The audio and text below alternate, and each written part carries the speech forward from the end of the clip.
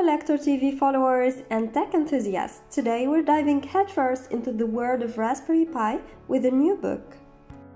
It's the Raspberry Pi Zero 2 W Go book by Dr. Dogan Ibrahim published by Elektor, so let's take a closer look at the content. What the cover suggests is that this book is a fast lane ride from concept to project, and it's true. It's not just another ordinary guide, it's a gateway to the incredible world of Raspberry Pi. Within its pages, you'll find a collection of exciting projects that will inspire your inner inventor. Chapter 1, 2, and 3 start by explaining how to install the Raspberry Pi OS on an SD card and how to create a Python program and execute it on the Raspberry Pi Zero 2 W. Chapter 4 and 5 give examples of Python running on the Raspberry Pi Zero 2 W, going from software-only examples to hardware-based projects including SED and SenseHat interfacing.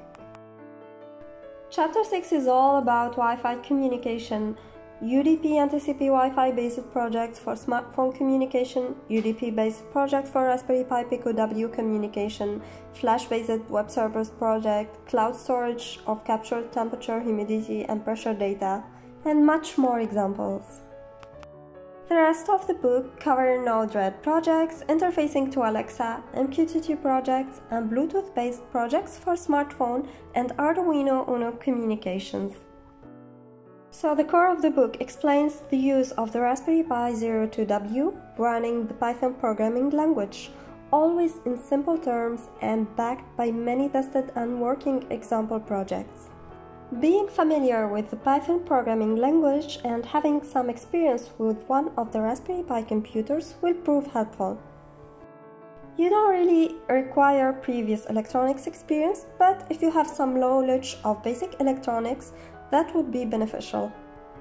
This book, available on the Elektor Store both in PDF and printed versions, presents over than 30 tested and working hardware-based projects covering the use of Wi-Fi communication with smartphone and with a Raspberry Pi Pico W computer.